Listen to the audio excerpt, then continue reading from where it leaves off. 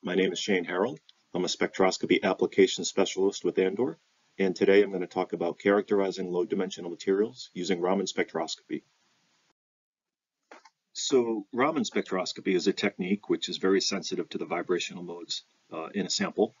Um, and it's uh, like an infrared absorption spectroscopy that it's sensitive to the vibrational modes of a sample. So these methods are, are considered complementary.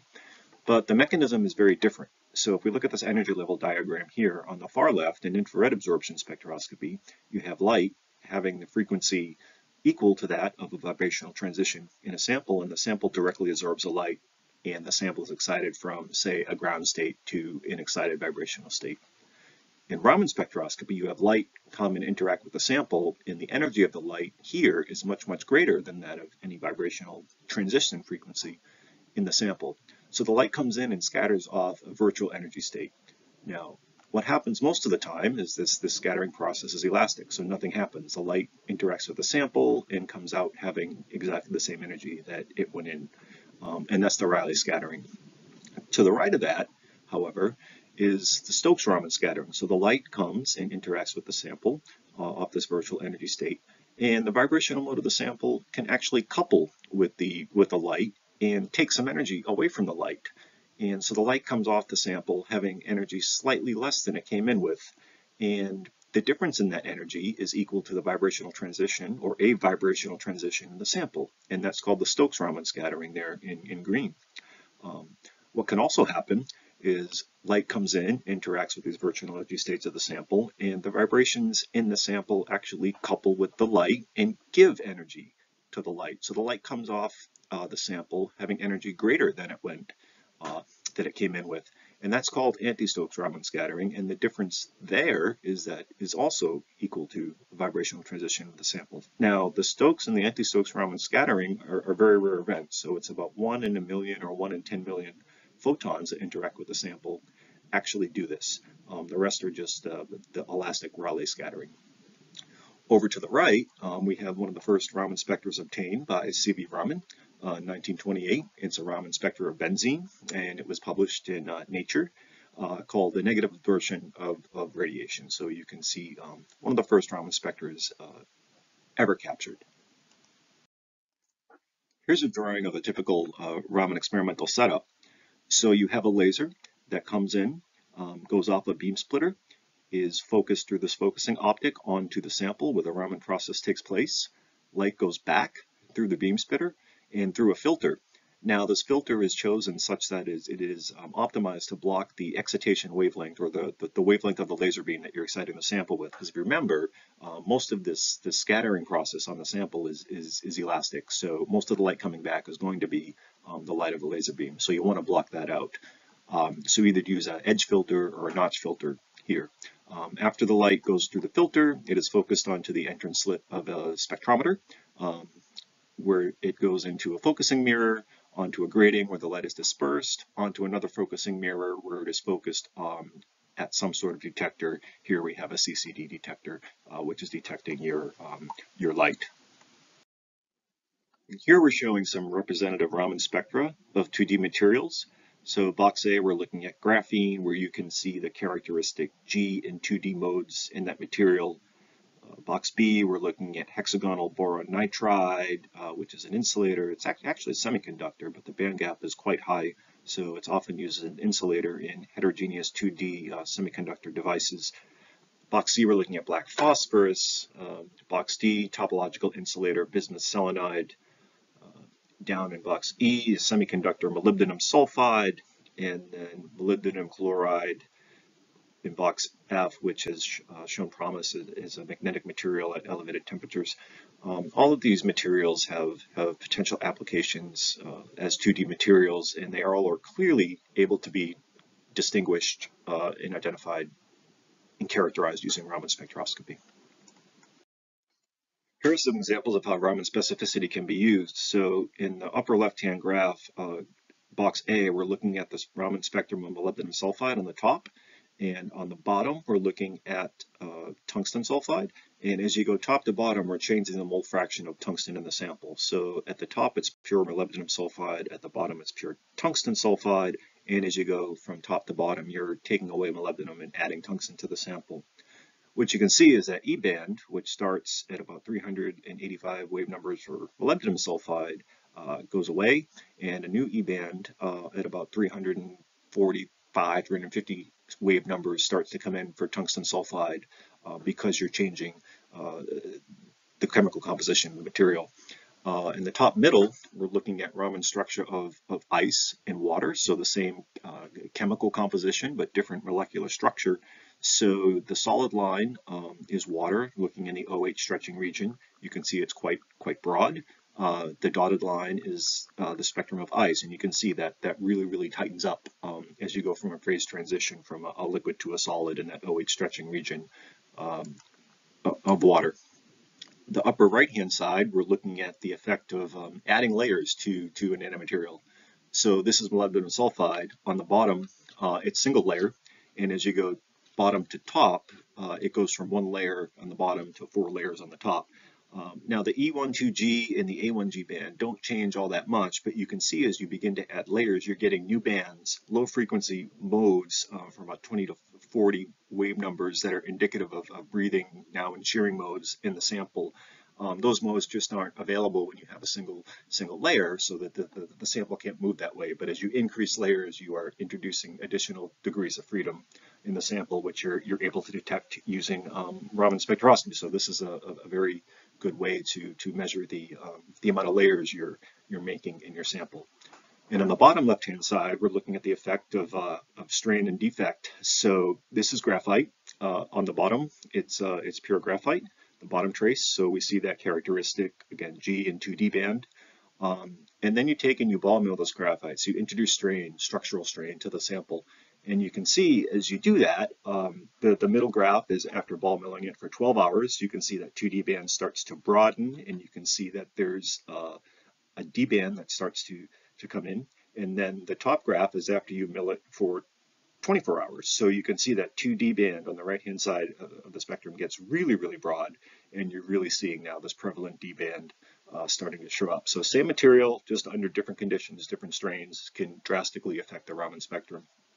Um, it's also important to know note that um, you know Raman spectroscopy uh, requires minimum sample preparation. It's non-destructive um, and it's incredibly specific uh, to the chemical composition, structure, strain defects of a sample. So what would you like to be able to do in order to fully characterize a sample using Raman spectroscopy? Well, there are a few things.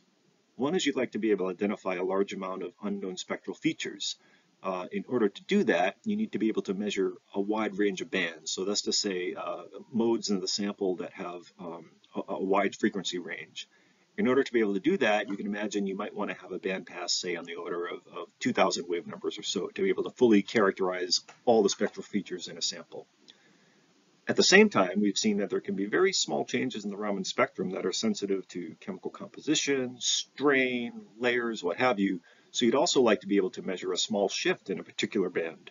And in order to do this, you would need high spectral resolution, so on the order of a few wave numbers to maybe 10 wave numbers or so.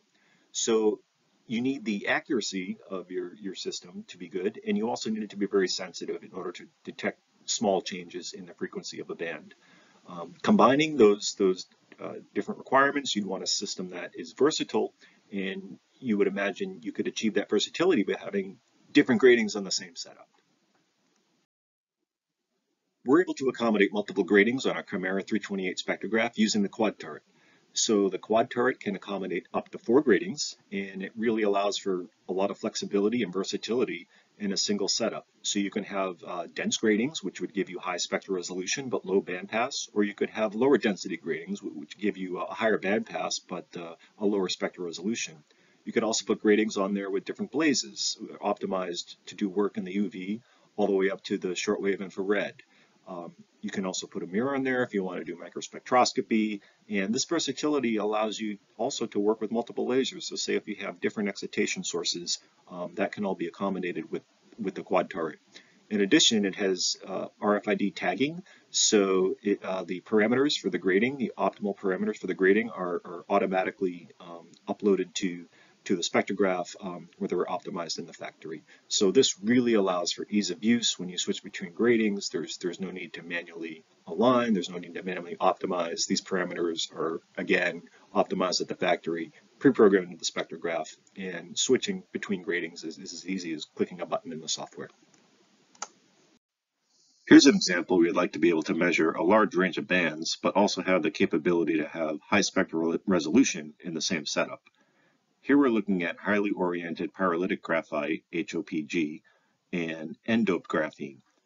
If we look at figure A, we're looking at the Raman spectrum over about 2,000 wave numbers of N-graphene and HOPG.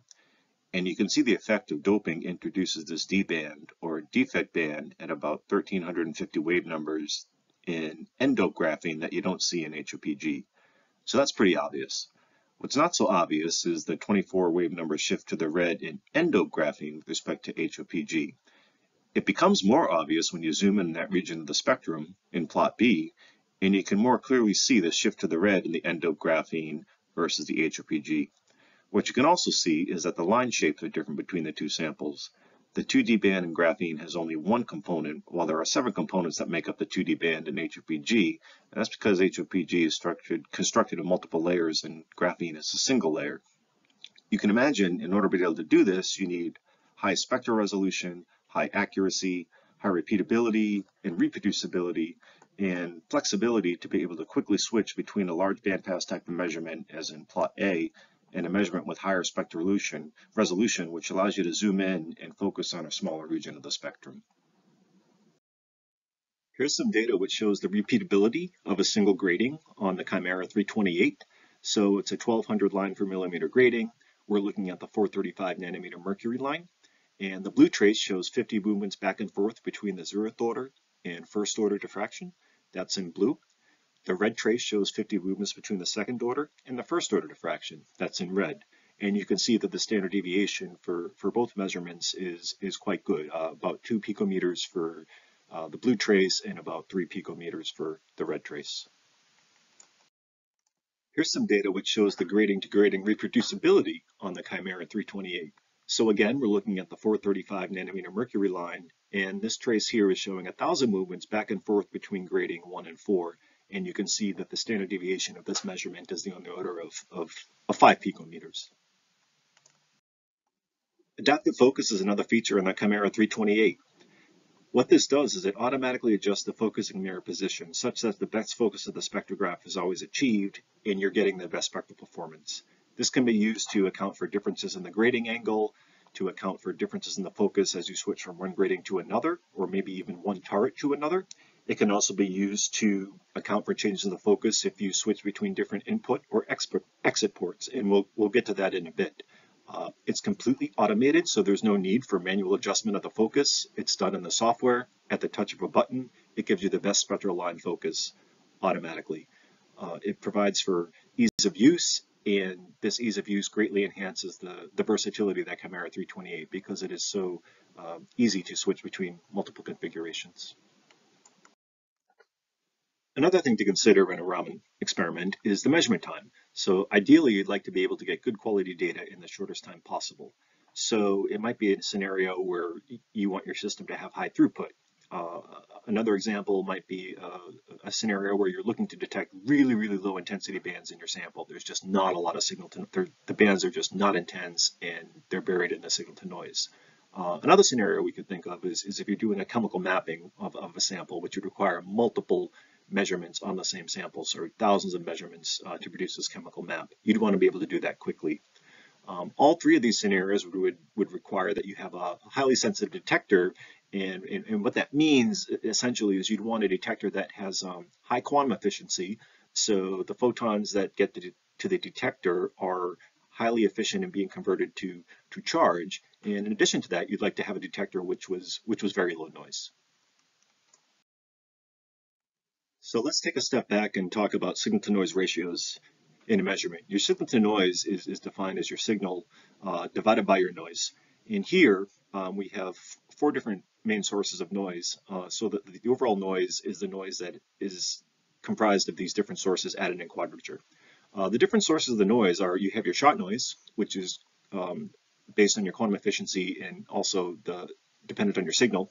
Uh, you have your read noise, which is usually the, the camera detection limit. Um, and that's just the, um, the effect of, of, as you read this charge out, you're going to get noise. Uh, you have dark noise, which is which is the result of thermally generated electrons in your detector. Um, you can you can address that by by cooling the detector, and then you have spurious noise, which is are due to um, clocking induced charges. Uh, typically, we define uh, if you look at your signal here, your shot noise is is the noise that you see on the top of that trace, um, and then the noise floor at the bottom that's that's defined as the read noise plus the dark noise. Here's an example of where having a highly sensitive detector in a Raman setup is a useful thing. In box A, we're looking at the Raman spectrum of single-walled carbon nanotubes. The top trace is for ones that are metallic, and the bottom is for a sample that is semiconducting, and the spectra are different. The main difference you can see is this G-band at about 1600 wave numbers is much broader in the metallic sample than it is in the semiconducting sample. This broadening of the G-band has been used to differentiate between metallic and semiconducting sample types. We also see this D-band, or defect band, at about 1350 wave numbers as a low intensity feature in the semiconducting sample. There's also a weak feature around 1900 wave numbers, which is called the ITO-LA band. In box B, there are another set of weak features, labeled IFM, or intermediate frequency modes. Both sets of features are understood to be combination bands and are significantly weaker than many of the other modes in the Raman spectrum. So, in order to detect these very weak spectral features, which can provide detailed information about your sample, you need a highly sensitive detector. Both iDus and Newton CCDs can be used as highly sensitive detectors in a Raman experiment. They both offer high signal-to-noise ratios. Uh, the high signal-to-noise ratios are achieved by having a high quantum efficiency, so the quantum efficiencies of the detectors can go up to uh, 95%. Um, if you look at the graph here on the right, there are different sensors, uh, each with their own quantum efficiencies that can be used in these detectors. So it's important to match the quantum efficiency of the sensor um, in the wavelength range that you're, you're going to be working in. The low noise is achieved by cooling the detector down to minus 100 degrees Celsius. Uh, this cooling is thermoelectric, so it doesn't require any liquid nitrogen. And what that does is it, it, reduces the dark noise component of our overall noise term that we talked about in, in the signal noise slide a few slides back. The iDus CCD is, is well suited for long exposures, uh, spectral rates up to 100 hertz, while the Newton, uh, also suitable for long exposures, offers uh, spectral rates that can go up to a kilohertz.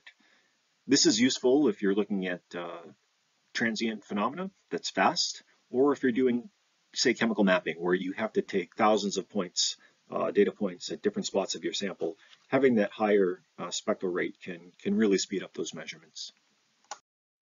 The last slide showed that there were a multiple number of sensor options for both the iDus and Newton CCDs. This slide I wanted to focus on uh, one specific sensor type, the BEX2DD. Uh, you can look at the quantum efficiency curve here over on the right, and you'll notice that it has um, uh, very broadband response, high quantum efficiency, and visible all the way out to the infrared region uh, of the spectrum. Um, and what this does is it allows it to be a, a very versatile detector. So it offers one platform um, for, for, detecting experiments in a wide range of uh, regions of the spectrum in the visible. So for instance, you could do multiple laser Raman spectroscopy, excited a couple different wavelengths. That's what we're showing here on this graph uh, 457, 552, and 785. Uh, you could also use this detector uh, to do another technique. So for instance, uh, photoluminescence or broadband absorption reflections, which are, which are techniques that are also used to characterize these low dimensional materials. So it's, it's a versatile detector. It can be used in different regions of the spectrum and for different experimental techniques. It also has uh, low optical fringing with this multi-air coding technology in the near infrared, so it ensures good quantitativeness of the data. And again, it's available on both the, the iDus and, and Newton platforms. Another way to detect very, very low signals is by using EMCCDs.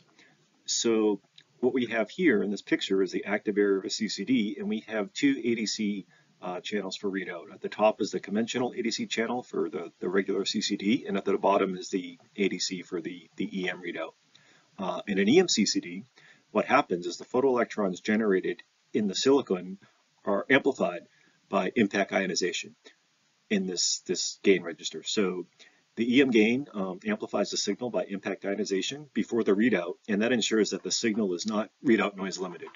Um, so what happens in the impact ionization, the photoelectrons generated in the silicon are placed in these cells. The cells are put under electric potential where impact ionization occurs, and so one photoelectron generated in the silicon now um, can produce many electrons, which can amplify your signal and um, allows the ability to detect extremely, extremely small signals uh, to the point of uh, approaching single photon detection.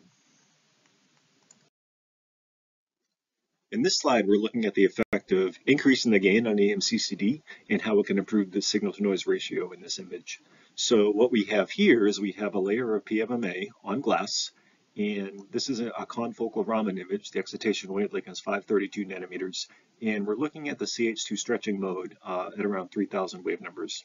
So you can see on the upper left-hand uh, image here, um, the M gain is set to a factor of 16, and in the bottom right-hand image it's set to a factor of 1,000, and we are increasing as we go left to right, and from um, the upper row down to the bottom row, we're also increasing. Um, and you can see this image quality gets um, much, much better as we increase the gain. And the reason for that is because we're improving the signal to noise ratio. So by increasing the gain, uh, the EMCCD, we're multiplying that signal. And so we're amplifying to the signal to the point where the noise floor now is negligible. So our signal to noise is, is greatly increased by being able to amplify the signal while the noise level stays the same. This can be uh, extremely useful in detecting very, very um, low signals, uh, low photon fluxes, so approaching single photon sensitivity. Um, we can detect very, very small signals using EMCCDs. Um, what it's also useful for is, is fast readout rates. So we talked about how the read noise was one component, um, uh, one term in our in our noise factor in the signal to noise uh, slide that we uh, a little while back. Um, that read noise increases as your your readout rate increases. Um, so by amplifying your signal, you can account for an increase in the readout noise and scan at faster rates and still maintain good signal to noise ratio. And this is useful in applications such as, uh, again, chemical mapping, where you're collecting perhaps thousands of points. Um, you'd like to have a fast readout rate, but maintain good signal to noise ratios. So an EMCCD can be a good choice for that. Another factor to consider in, in uh, Raman experiment would be fluorescence. So many samples, uh, many of them organic, uh, will fluoresce when they're excited in the visible. Uh, and that can cause an unwanted uh, background in your Raman spectrum, and, and, I'll show you an example of that uh, in the next slide. Um, so what you'd like to be able to do is, is to minimize that fluorescence background. One way to do that is to excite at longer wavelengths. So these, these uh, molecules or these samples that fluoresce in the visible won't fluoresce at longer wavelengths. Um, in order to do that, in order to obtain uh, a Raman spectrum at longer wavelengths, you'd like to have a detector that, that has better sensitivity at those longer wavelengths. So an, a detector that has enhanced sensitivity in the NIR would be beneficial if you're looking to minimize fluorescence. So this slide shows um, what I was talking about before about, about the fluorescence in a Raman spectrum. Um, here we have uh, two Raman spectra of 9-methyl anthracene. Um, the top spectra was taken at 785 nanometers. The bottom spectra was taken at a longer wavelength of 1064 nanometers. Um, you can see that the bottom spectra has, has a much, much flatter baseline than the top spectrum. And the reason of that is because when we excite at 785 nanometers, the sample is fluorescing and is contributing to the baseline or the background of the Raman spectrum. So you can see here that if you excite a sample that fluoresces in the visible with the longer wavelength, you can really reduce the, um, the background contamination due to fluorescence. So how does one go about making a highly sensitive detector in the NIR? Well, let's have another look at our uh, quantum efficiency curves for our different sensors that are available in the CCDs. Um, as you can see here, the two red traces, the BRDD and the BEX2DD, offer very good quantum efficiency in the NIR. And in fact, these back illuminated CCDs um, offer better NIR quantum efficiency uh, and actually lower etalonning in the NIR IR than their, their visible optimized counterparts. However, the back illuminated depleted detectors suffer from an elevated dark current in the NIR. So even though the quantum efficiency is good, the dark current component of that noise expression goes up and your overall signal to noise goes down. Now, you might think you might be able to cool the detector even further to reduce the effect of the that elevated dark current. Well, that would work. It also shifts the quantum efficiency of these curves to the blue. So while you would be reducing uh, your dark current, you're also reducing your quantum efficiency and your signal to noise is not going to get better. The way to do this is to use this pinned asymmetric inverted mode operation technology, which can reduce the dark current by about a factor of 10 versus non-inverted mode deep depleted CCDs. So what the low dark current deep depletion CCD does is it maintains your quantum efficiency um, while reducing the dark current, so your overall signal to noise ratio is good. So again, what the low dark current deep depletion sensors allow one to do is they allow for less cooling, um, which lowers the quantum impact of the quantum efficiency in the NIR, but it also significantly reduces the dark noise. So it allows one to obtain the best signal to noise achievable without the need for deepest cooling. Uh, on the upper right hand side of the slide, we have two Raman spectra of the same sample. One was taken with the low dark current deep depleted uh, sensor on the top, and on the bottom, the spectrum was obtained with the, the standard back illuminated deep depleted sensor. And what the low dark current deep depleted sensor allows one to do is it allows one to extend the spectrum about 10% further into the NIR because the signal to noise ratio is still good, which is not possible with the standard back illuminated deep depleted sensor. Um, what, what th this allows one to do is it allows um, faster identification of chemical signatures. Uh, so for instance, weak Raman signatures when exciting at 785 or 833 nanometers, or say if one is looking at uh, NIR photoluminescence of some quantum materials, uh, nanomaterials, uh, it also, say if you're looking at biological samples, which are very susceptible to, to radiation damage, um, it can minimize the sample damage because the signal to noise ratio is sufficiently good um, that one can lower the exposure time.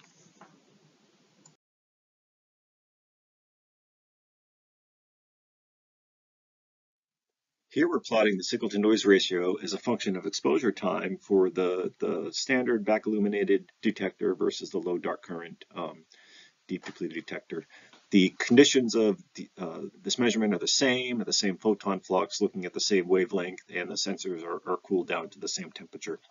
Um, what we'd like to point out is the difference in time, exposure time required to obtain the same signal to noise ratio between the two sensors. So say, for instance, your experiment needed a signal to noise ratio of 10. Well, it would take you 150 seconds longer to get that signal to noise ratio on a standard back illuminated detector than it would on the low dark current uh, detector. And say, for instance, your experiment required a signal to noise ratio of 25. Well, to get that on a standard back illuminated detector, it's going to take 15 minutes longer than it would on a low dark current um, deep depleted detector. Now you can see that the difference in exposure times um, goes up quite a bit as the desired signal to noise ratio goes up. And let's go back to that scenario with, with the chemical mapping where now we're not just trying to acquire one data point, we're trying to acquire perhaps hundreds or even thousands.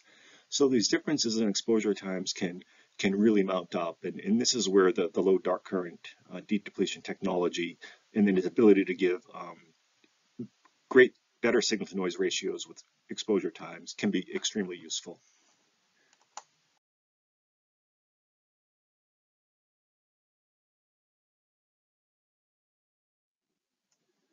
Again, here we're plotting signal to noise ratios as a function of exposure time, but now we're comparing signal to noise ratios for a low dark current deep depleted uh, sensor thermoelectrically cooled to, to minus 95 C versus a standard back illuminated deep depleted sensor cooled to liquid nitrogen temperature. Uh, again, the, the conditions are the same, the photon flux is the same, we're looking at the same wavelength. And you can see that the signal to noise ratios between the two systems is the same. So the thermoelectrically cooled low dark current deep depleted uh, sensor can achieve the same signal to noise ratios as, uh, as a liquid nitrogen cooled standard back illuminated deep depleted sensor without the need for liquid nitrogen. Now, the last aspect of a Raman setup I'd like to talk about would be the overall uh, experimental versatility of the setup. So, in looking at 2D materials, characterizing two materials, Raman is one way um, to characterize low dimensional materials, but there are other, other uh, techniques that are also used. So second harmonic generation, photoluminescence, um, among others. So it would be nice to be able to seamlessly switch between uh, different experiments. So be able to switch between different beam paths, not have to realign the beam into the spectrograph every time you switch from a second harmonic generation experiment to a Raman experiment, say. So what you'd want this setup to have would be multi-modality, so the ability to, to easily switch between different experimental setups.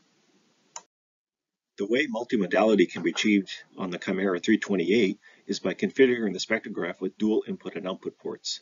So you can see on this picture on the left-hand side here is a Kymera 328 with dual output ports, and there are, two cameras attached to the spectrograph. Uh, this allows to, uh, to uh, conveniently interface between complex experiments, um, having multiple light paths. It also can minimize the switching time um, between the experimental setups, and it really enhances the versatility of the Kymera 328 to, um, to be able to use in, in, in multiple experiments in a laboratory. The Andor Software Development Kit, or SDK, can also uh, provide experimental versatility into a setup. So the SDK is compatible with LabVIEW, is compatible with MATLAB, and it's recently compatible now with Python. Uh, it's fully customizable software platform and allows one to integrate uh, an entire experiment and all the hardware in an experiment into one program. Uh, so things for, uh, like light sources, control stages can all be uh, managed within the software development kit. Um, it also allows for data analysis such as background subtraction, peak fitting. Uh, again, the Python compatibility is, is, relatively new, but that gives um, that gives user access to the, the large library of, of, of Python uh, scripts and codes that uh, that are out there. So that's all I had for today. Uh, thank you very much for your attention and for your time. Uh, I'm happy to answer any questions that you might have. If you're unable to ask me a question right now, please don't hesitate to reach out to me at s.harrell at andor.com. Thanks and have a great day.